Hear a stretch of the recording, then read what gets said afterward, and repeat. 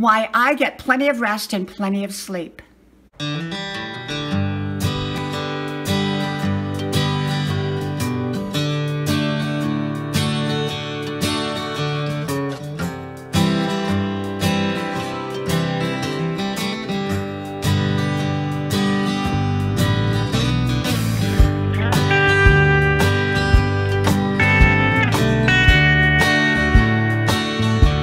Rest, the importance of rest, recharge, relax, and sleep.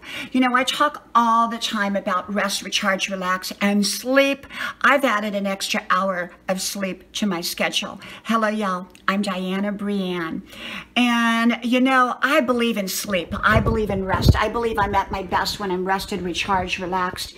And I am not at top of my game when I'm tired, worn out, and exhausted plain and simple.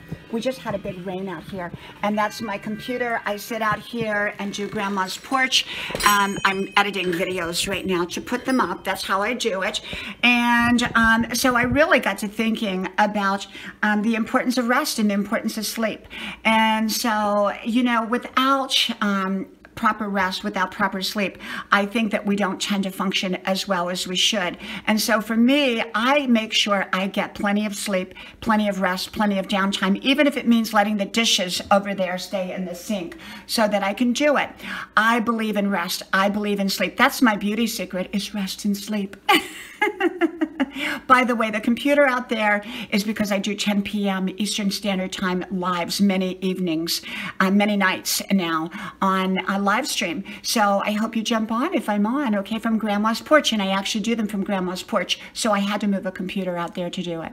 So anyhow, I make sure that I get plenty of rest and plenty of sleep. From my house to yours, may God bless you. And I hope to talk to you soon again.